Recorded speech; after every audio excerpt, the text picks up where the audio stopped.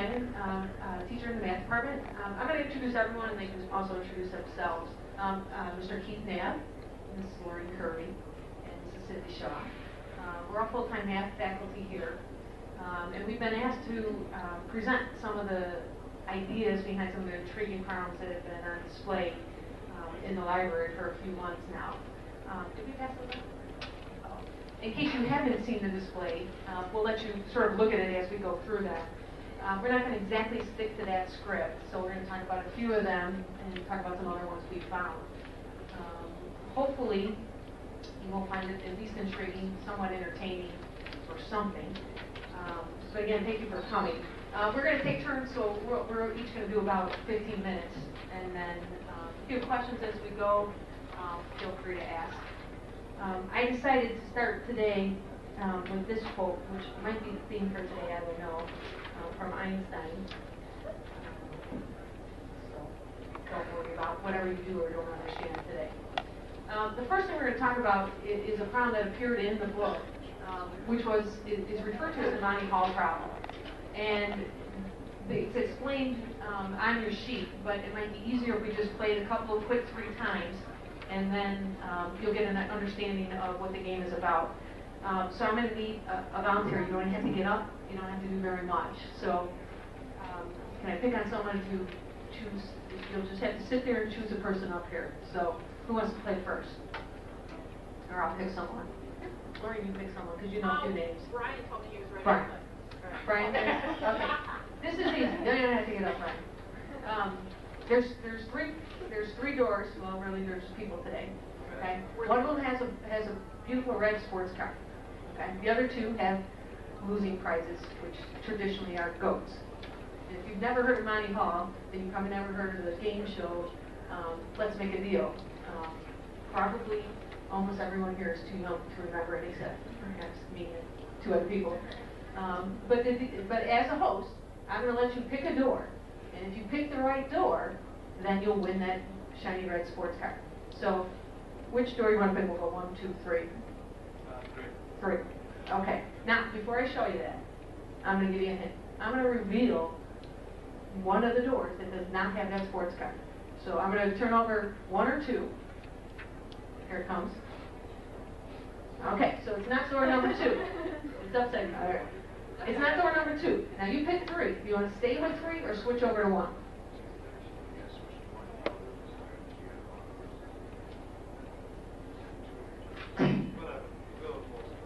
You want to switch to one? All right.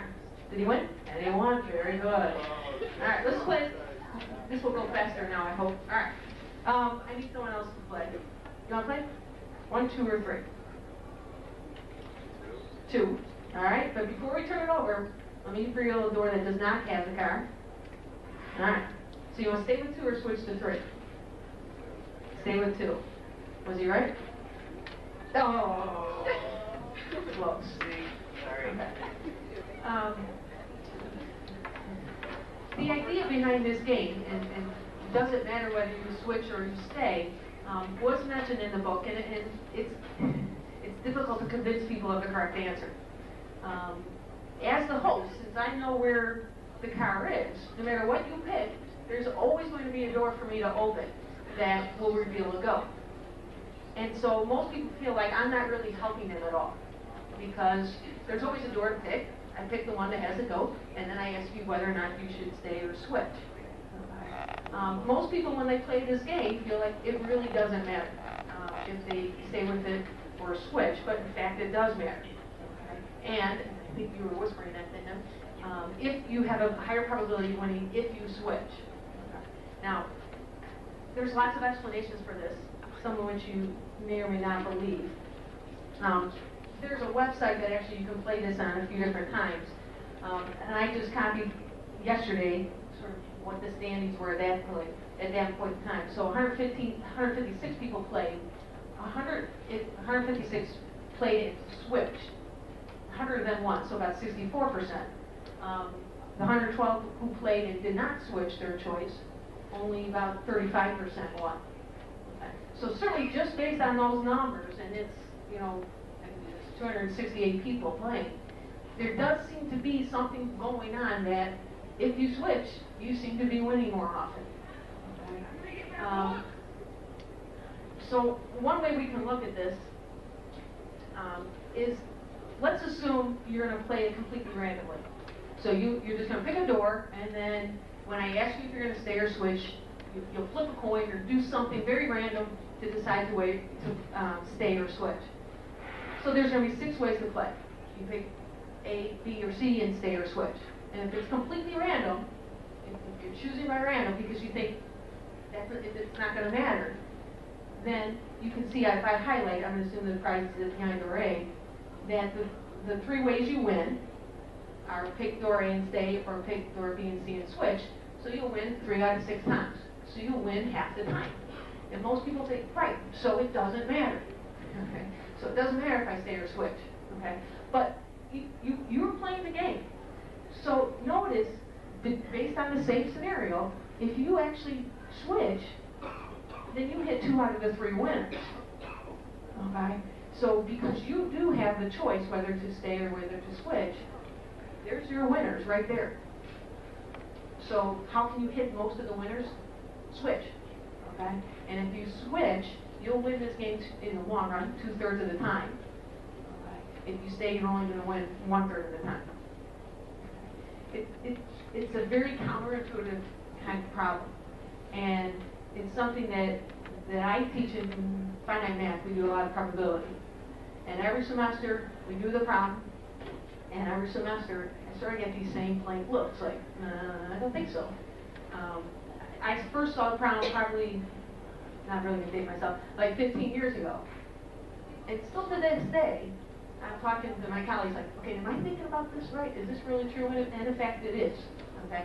And actually, the easiest way to convince people is to do the problem, is to run it 100 times or do it 200 times, because those raw numbers tend to impress people more than, well, it looks kind of nice, but I just don't believe it. Uh, I mean to interrupt you, I think I noticed you said that you could ask questions throughout, so.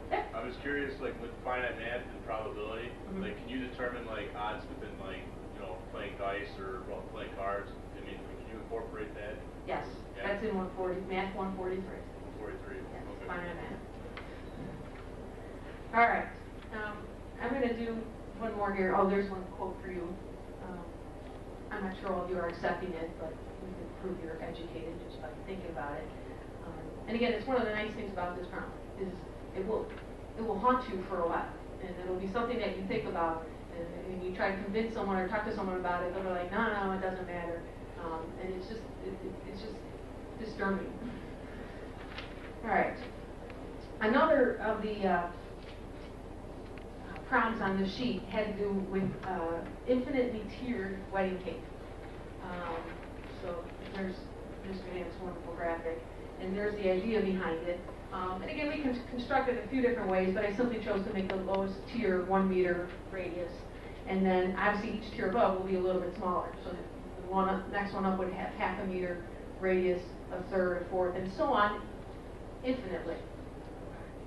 And the conclusion is that if I can calculate the volume of that cake to be some finite amount, okay, um, but its surface area is infinite. Okay, so you can eat the cake, but you would never be able to have enough frosting to frost it. Um, again, not something that tends to sit well with people, um, that that would be true. But that's because what you're trying to do is sum an infinite series. Um, everyone can add as many positive numbers as I would ask you to. Okay, but what if I'm going to ask you to add an infinite amount of numbers? Either the surface area of each tier or the um, volume of each tier. How could we possibly do that? Well, there's all sorts of ways, and, and when you take Calc 2, Math 151, you'll learn lots of ways to do this.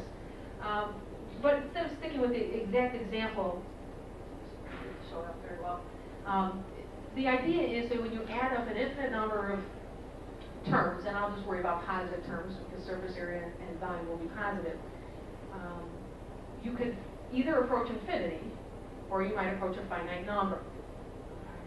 Um, most people would argue if I keep adding positive numbers, that I could get to 10, I could get to 20, or I can get to a million, I can get as high as you want me to. Because if I keep adding positive numbers, that will just keep growing without bound. And that's the problem, it's not gonna grow without bound necessarily. You can add, think to add an infinite amount of numbers and still maybe never get past one, or never get past two, depending on what you're adding up. Um, For the, um, surface area, one of the, um, part of the formula generates what we call this harmonic series, which I'm not sure you can read at all, but it's one plus a half, plus a third, plus a fourth. okay? It would take a long time, but if you wanted to add enough terms to get to twenty, you could do that. If you wanted to add enough terms so that you accumulate fifty square meters of surface area, you can do that. If You want to add up to a million, you can do it. It's just gonna take a long time, but you have an infinite amount of terms to work with, okay?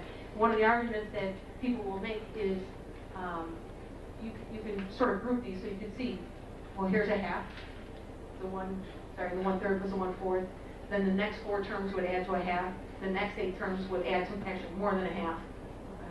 The next sixteen terms, so you can very easily discern a pattern, that if you add the four in a row, you have more than half, then the next eight in a row, you have more than half, the next sixteen, you'll have more than half. And there you go, climbing as high as you wanna go, okay? Now, again, what's a little bit more counterintuitive to people is that this does not always happen, and that's a convergence series, okay?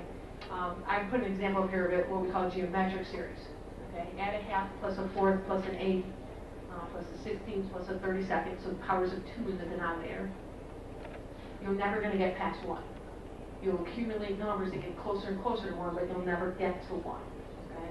And at least one nice, um, visual for this would be this square, okay?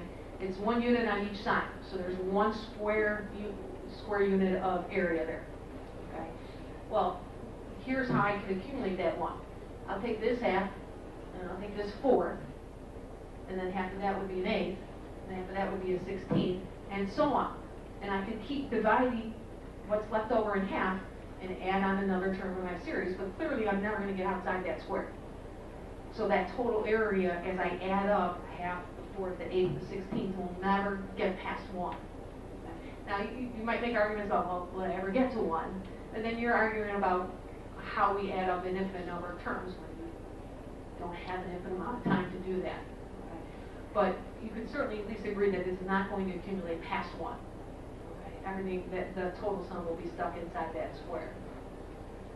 Um, again, the, um, the idea of adding up an infinite amount of numbers, and whether that would be a finite sum or an infinite sum, was, was very difficult uh, for mathematicians to grasp for a long time. And in fact, it at least inspired one interesting quote.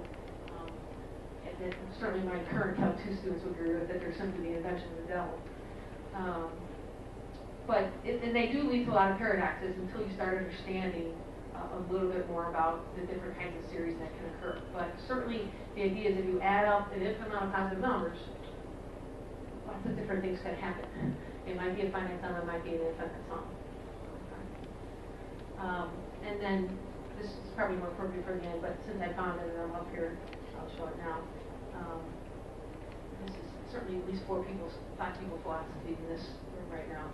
Life is only good for two things, so. Uh, but learning mathematics is pretty good too, so. Um, thank you, and I'm gonna pass it now to Mr. Knapp.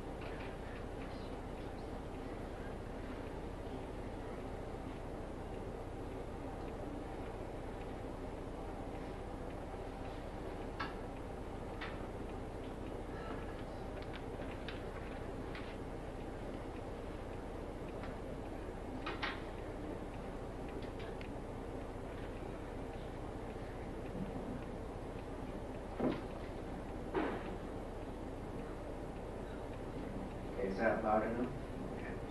Okay. All right, my name is Keith Knapp. I'm going to uh, show a couple of problems here, um, two at the end that are really, really closely related. And uh, main theme I'm going to do here in the beginning is something called uh, proving some things without words. So there's a nice textbook out there called Proofs Without Words. So I'm going to go through and demonstrate something here. I will have to say a couple of things, but the whole notion of this is to say as little as possible. So it's one of those things where you can uh, sort of believe that something is true with as few words as possible.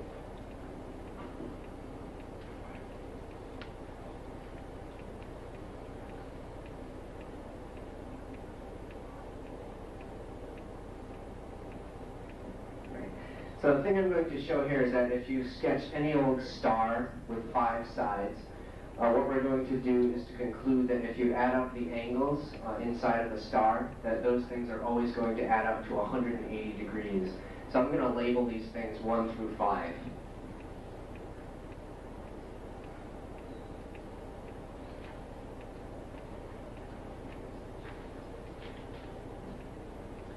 Right, so what I'm going to show here is that if you add up these angles, 1, 2, 3, 4, 5, uh, you're going to get 180 degrees. Uh, the only prerequisite here, the only thing that we need to understand is that if you add up the angles in a triangle, how many degrees do you get? 180, right? So that's the only basic notion here that we really need.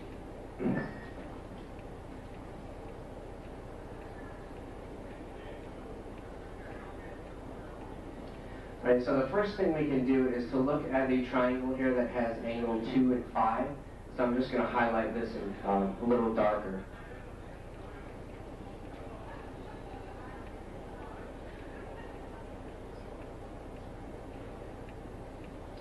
So if you just look at this triangle here, uh, we can say that we have angle 2, angle 5, and then something here that is unknown. And we can argue here that if you have a straight line, uh, that even though we don't know this angle, this one here would have to add up to uh, 2 plus 5, right, that remaining part of the triangle. So we can label this as 2 plus 5. I can definitely say I'm already saying way too much, right? It's supposed to be a proof without words. So we're going to take the 2 plus 5 and tack it right onto the 4. So I'm doing my best here to make this line look as parallel to this one as possible. And if this is 2 plus 5, then intuition tells us this is also 2 plus 5.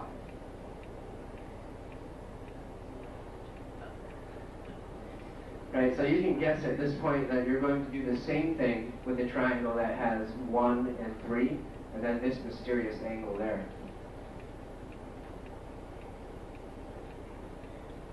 Right, so just looking at this angle here, uh, we don't know what this one is, but this one here would have to be 1 plus 3. So we're just going to take this and slide it over there.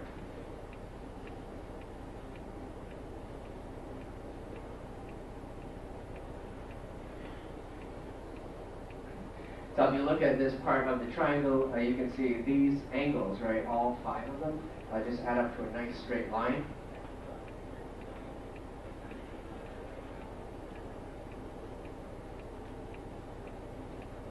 So there's my one word, right? Behold. Right? So if you look at the five angles of any star, right, you can just line them right up here in a nice straight line.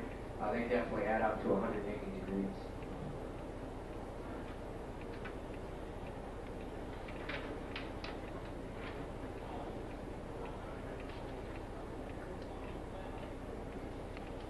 Way too many words.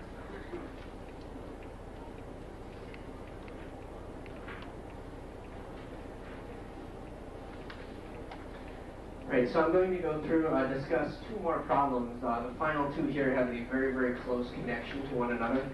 So I may uh, ask for uh, a volunteer from the crowd to see if they could um, perhaps come up with the conjecture or the guess to what the uh, answer to this question would be.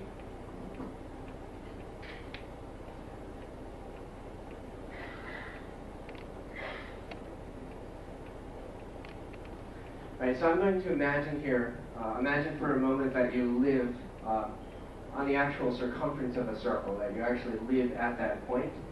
So you can imagine uh, that you are a mud stain, for example, on a wheel. And I'm going to ask here what the path would be that you would undergo if this wheel were to start to go in motion.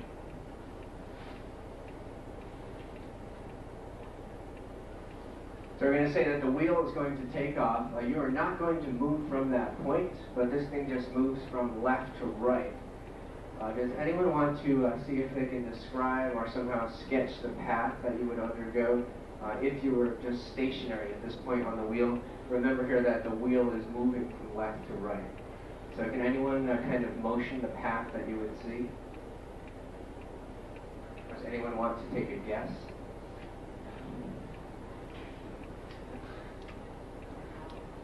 Well, can you come up here and give a rough sketch?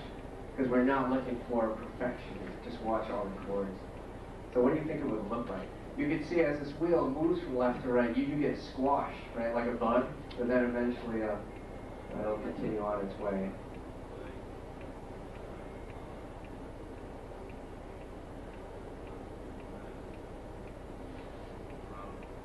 Right. So this is this is basically it. It's uh, like a set of arches, right, from left to right. So you can see this little point where you have a little cusp. Uh, that is where you get squashed, and then eventually you'll be back on top of the wheel for a while. So I want to take a minute here to show an animation of that.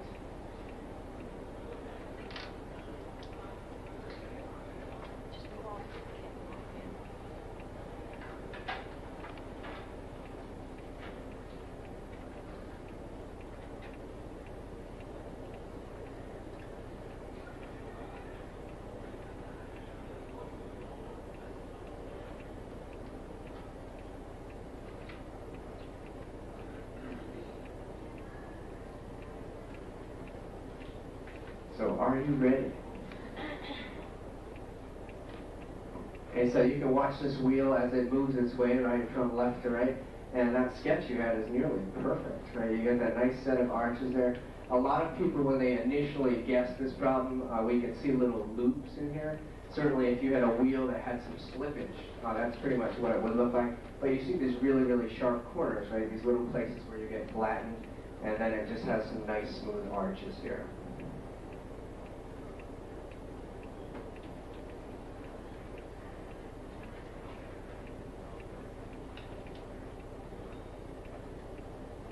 Okay, So I'm gonna go back to this thing for a second, and then back to this.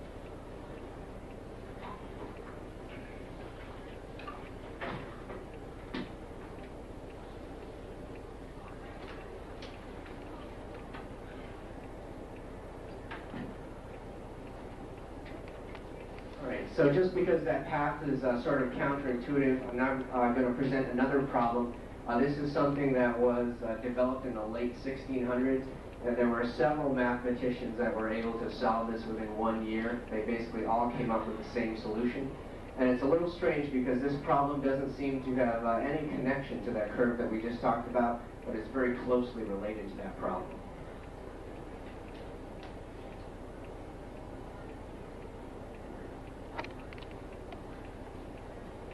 Okay, so this is a, a real classic in mathematics, uh, to take uh, two points that are sitting anywhere in the plane, uh, to take one that is above the other, and to make sure you have some kind of horizontal shift. And the basic question here is to come up with a path, right, that connects A to B.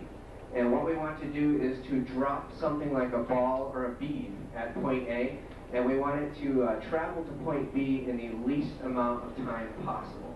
Right, so we want to do that in the fastest possible way. Uh, we are not to push the ball or the bead, we are just to drop it at point A. We really want it to get to point B as quickly as possible. Uh, so what's your gut reaction initially? What kind of path would you think you could connect from A to B? Sure.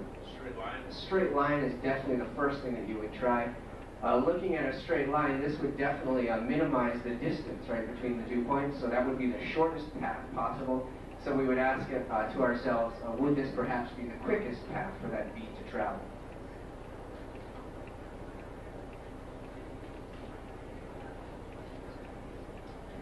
So can anyone explain why, uh, even though this one here will minimize the distance, uh, that perhaps this would not minimize the time of travel from A to B? So any thoughts on that? Sure, John. Maybe because of air resistance. Yeah, definitely uh, gravity, air resistance, right, are all playing a role in a problem like this. And you can also see that if you drop a ball, right, if you just release it at uh, point A, it's going to take a while, right, for this thing to pick up speed. Uh, so the mathematicians in the late 1600s were uh, wondering if we had to give the ball a little bit of uh, something that is almost like free fall, right? Something very, very similar to that. Uh, so they did struggle uh, with this problem for a little while. Right? Uh, many suggestions were made for things like curves, right? So if you have something like this that is a very nearly vertical drop, uh, then it turns out even though this distance from A to B is definitely a longer distance to travel, perhaps the ball would get to be uh, much faster than it would on that first line segment path.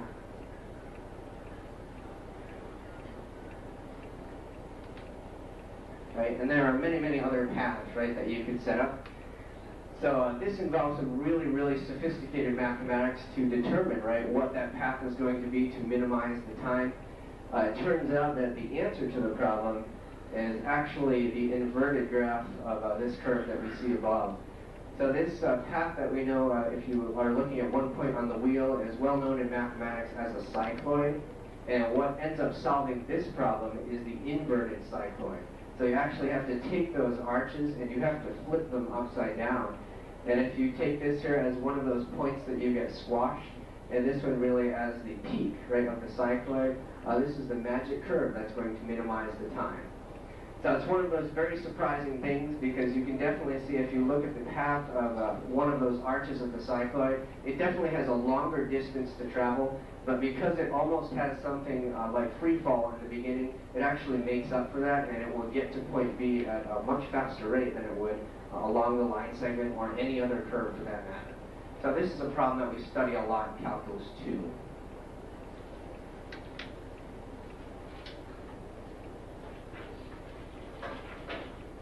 So there's a very nice website that I found that has an excellent animation of this.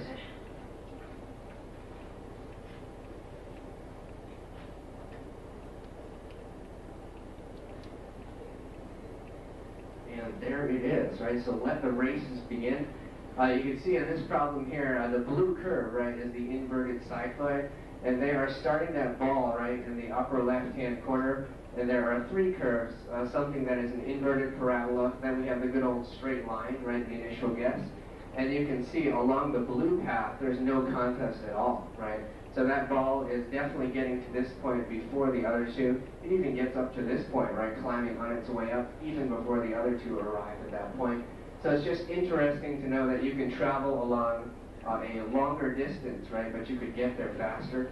Uh, my best analogy for this is traveling downtown, for example. So sometimes if you want to get uh, downtown as fast as possible, you don't want to take the most direct route, right? So sometimes if you take a slightly longer route, you'll get there quicker, right? Uh, this here is definitely evidence of that. Any basic questions there? Well, thank you.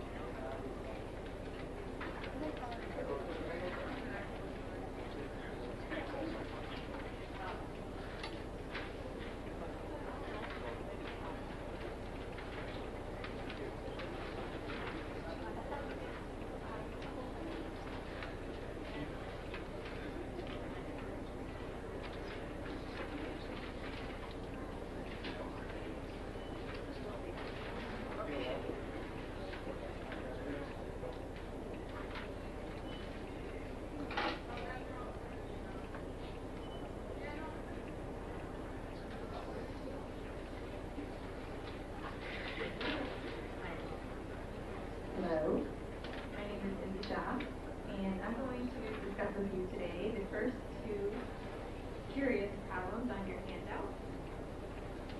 The one, the first two at the top. We're going to look at another proof without words, But I personally like to use lots of words, so we're going to talk about the truth of that word, and then also discuss a way to collect prime numbers, which is called the sieve of Eratosthenes. So first of all, who can tell me the Pythagorean theorem? And if you don't know what it is on your sheet, you probably know it. Who's going to say that loud? Now, there's a couple of assumptions that you make when you say that. One of which is that we're talking about the sides of a right triangle, where you know that C is the side opposite of the right angle itself. So A squared plus B squared is equal to C squared. Correct.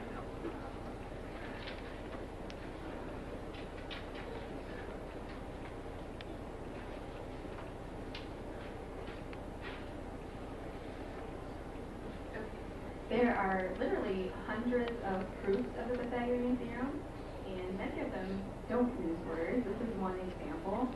So I've um, recreated the diagram that you have on your sheet, where the A, the B, and the C are marked on the left square, and then the A and the B are duplicated on the right square. So you can see, for example, this triangle, the B is the shorter side, matching with the shorter side of that triangle, and then the A is the longer side, matching with the longer side, and in between is the right angle. So we would call those congruent triangles, or just matching. So how many triangles are on the left square? Four. And how many on the right square? There are also playing along very well. How many on the right square? Okay, there's four. So those are four matching squares. So we can pretty much disregard the areas of those four squares because they match on the left and on the right. So we have the two big squares have the same area, so we disregard the four triangles because they're the same. So we're left with basically some smaller squares. On the left side, you have a square with a side looks like it would be called C. So the area of that square would be C times C, or C squared. And then on the right hand side, maybe not so sure what we have there. So let's do some more labeling. So if the short side of the triangle is B here, if I take it to the other side, this would also be B. And then if the longer side is A and I take it up, this would also be A. So we can carry around the rest of the figure. So we would have B here, here, and then A and A. So now we can identify the areas of those smaller squares. On the left-hand side, you have C times C, or C squared. And on the right-hand side, you have, we're disregarding those triangles, we have the A times A, or A squared. And in addition to that, the B squared. So C squared is equal to A squared plus B squared. Any questions about that?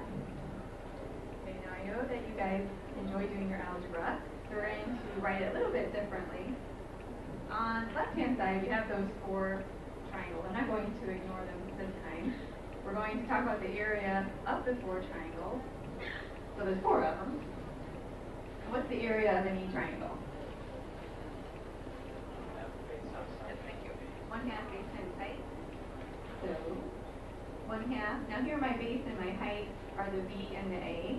So you can write BA or AB. Doesn't matter. So that's the part of the area made up by the triangles, and then we also have the part made up by the square, the C squared in the middle. That's on the left side. And then on the right-hand side, you have the full square. Now we can do this different ways, but I'm going to let you do some of your algebra. The full side length is the A plus the B, and then again the A plus the B. So this is A plus B squared. So A plus B quantity squared. And you have a choice. You can use what you know about squaring a binomial. So if your teacher forces you to memorize that formula, like I do, you should know that one. Or just write down A plus B times A plus B, and you can distribute or FOIL it out. So on this side, if we do that, A plus B squared, you square the first term, and then the middle is twice first and second, plus square the second term. If you don't believe me, you can always FOIL it yourself. Then on the left side, if we do some simplifying, 4 times one half is two, we still have times e, and then plus b squared. So then, of course, the next step is what? Yeah, the, the two AB shows up on both sides, so by subtraction, they would drop out to zero. So you get c squared equals a squared plus b squared. I guess.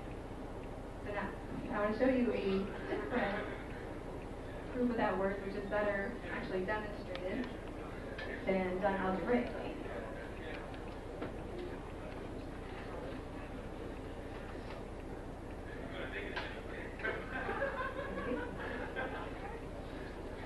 So you see here, this is a common diagram of the Pythagorean theorem, where you have the sides A to B and C, the hypotenuse, and you actually see the squares extended from each of those sides. So here's the A length, and then that's extended to make a square area A squared, and then the B, and then the C. So on this website, you can show that if you take the A squared square, you can actually overlap B squared and then do the same with B squared. These two will fill in the C squared exactly. That's the idea. So if you'll drag the A, the A squared, and then it should click in. So it popped right in there. And then you try to do the same thing with the B squared. Now obviously it's not going to pop right in because there's different shapes. But if you click on the B squared, it breaks it apart, and then you can do them one by one. One. It's the most fun I've ever had.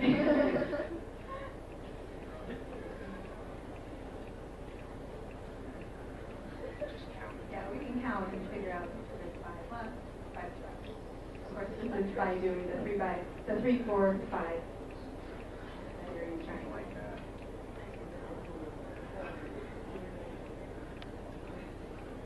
Almost there.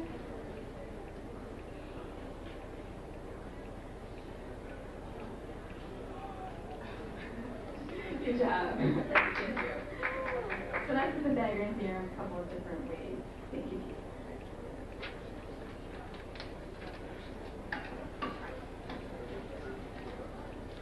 Now, the second thing we're going to look at is the prime number collector called the sieve the Eratosthenes.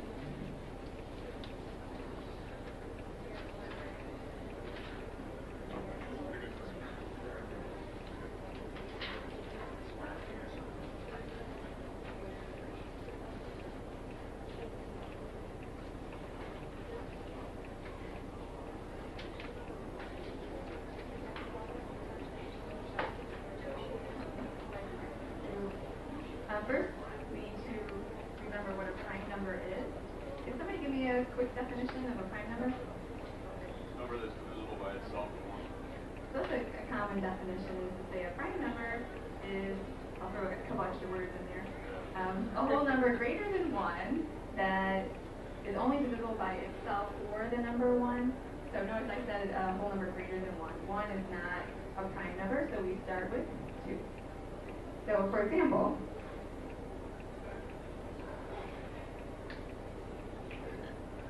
Course, six can be factored into whole numbers which are smaller than itself, which is another way of saying um, six is divisible by numbers besides just itself or the number one. And then seven can only be written as a product of one and seven, where only one of those numbers is smaller than itself, the number one. So it's only divisible by the number one and seven. Now on the um, PowerPoint handout that I believe you got, there is an algorithm with a set of. And an algorithm is basically a series of steps that you repeat until you're finished with your task. So we're going to follow those steps. And we will by hand find all of the prime numbers from 1 to 25. And the first step is to basically cross out the number 1, the number 1 is not prime. Then you are to mark the first available number going numerically, which would be the number 2. And then eliminate all multiples of that number 2 So of course, every other number would be even, so every second number I can cross out.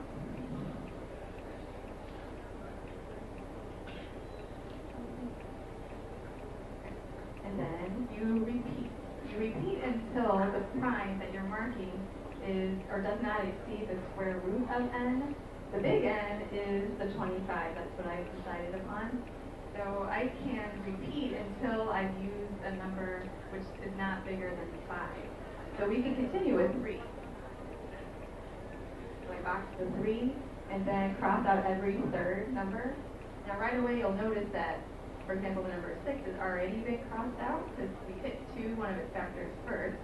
But then I can cross out 9, 12 already out, 15, 18, 21, and then 24 is already out.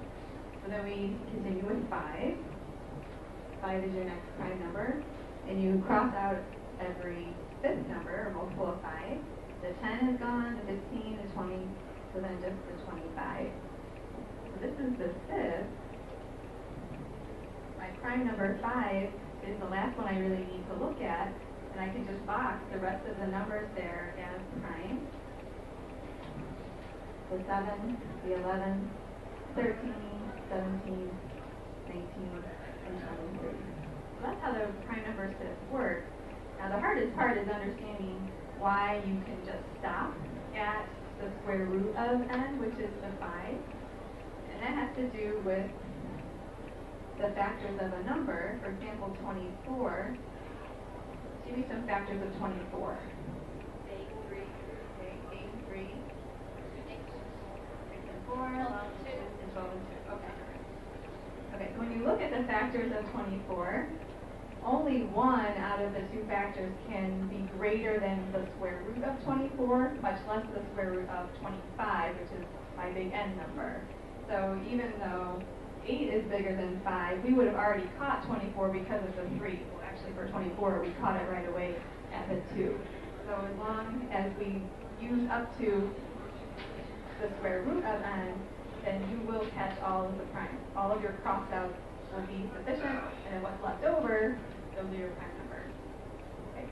Now, that wasn't too bad. I wrote that out ahead of time, the 1 through 25, but to show you, to show you the prime numbers up to 100, we will let the computer do that.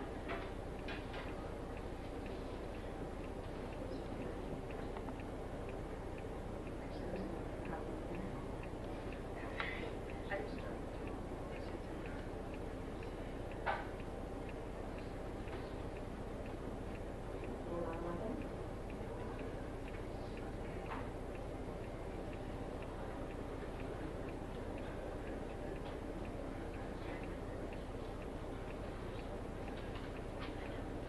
Okay.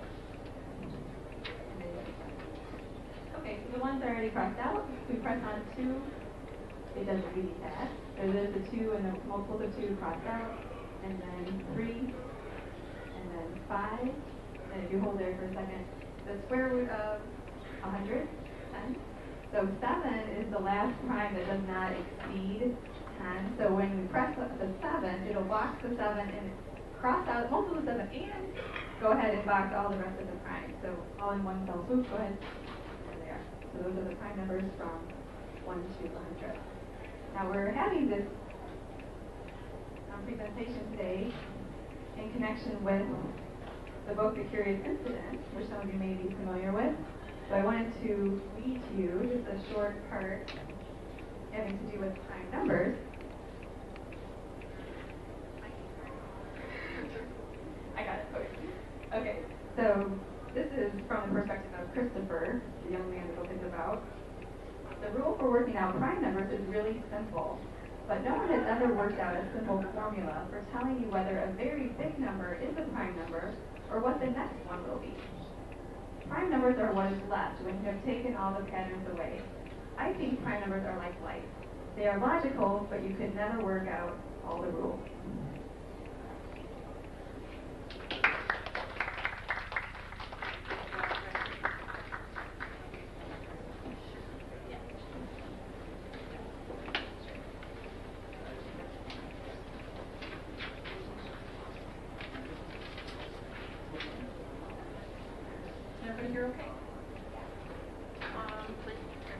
we're here today because of the one with one college, Curious Incident of the Dog. Very unusual that a fiction book would have mathematics in it, so we have to try to thank uh, Troy for the term. Just finding a book like that. Not too often a day.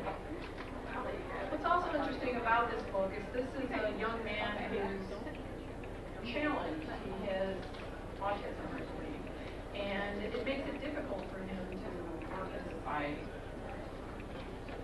But he enjoys working out problems, and that's really what mathematics is all about, is working out problems. Uh, one of the statistics that comes out of the, I think the labor uh, department reports statistics for uh, income.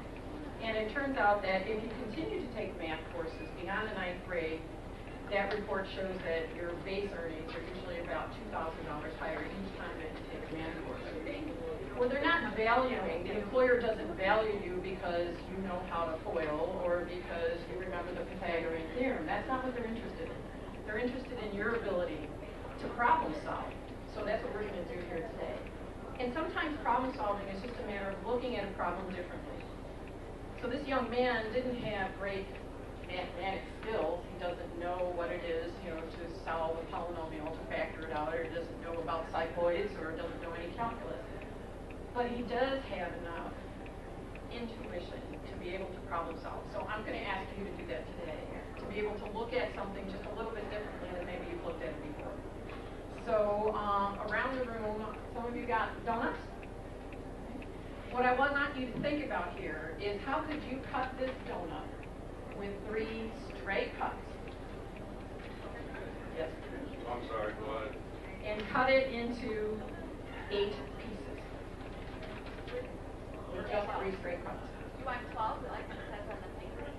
no, I want the 12. I want 8.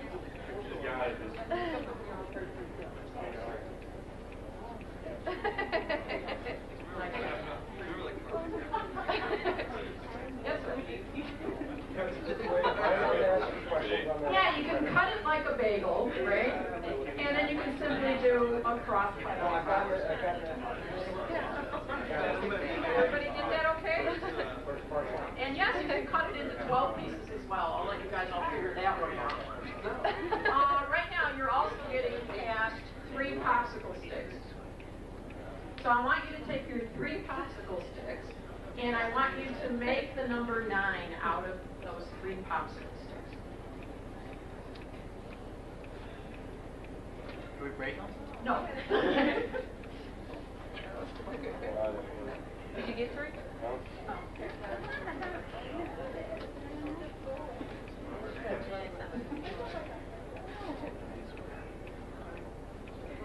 These are interesting shapes. Ruby, hold that up. Show everybody what you made. Now, I asked to make a number nine. That's not a nine. That's a flag. Hold that up, sir. Can everybody turn around and look at that? Oh, what kind of nine is that? Roman numeral. And again, problem solving is just trying to think differently about the way you see your world, right? All right, one more problem for you all.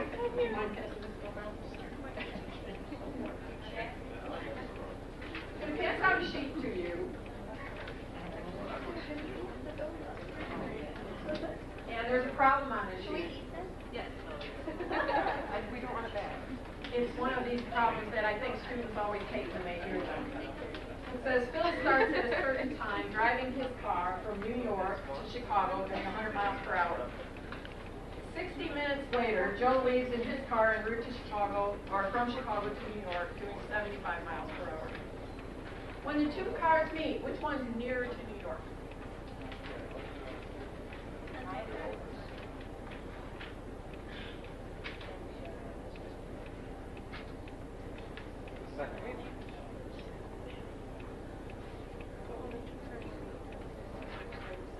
What are y'all trying to do? How are you all thinking? Bill, Bill is in New York. So why is he Okay. So the two cars meet, aren't they? They're at the same place. Isn't that an interesting point? If two cars meet, aren't they at the same place?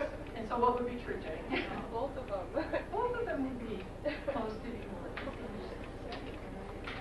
So most of you are probably thinking, oh, do I have to know that distance, rate, time thing? No. You don't have to know that. And again, what we're trying to just point out here is that to be successful in mathematics, you don't have to be a genius, you don't have to be Einstein. You just need to be able to look at problems a little differently than everybody else does. Because what mathematics is all about is just looking for patterns. And so if we look at life a little differently, we can see patterns that maybe no one else has seen before, and that makes us mathematicians. Right? So not the method. Thank you all very much. And Troy, did you have anything else to say before we finish up? Thank you all for coming, and if you're one of my students, make sure you sign in before you leave.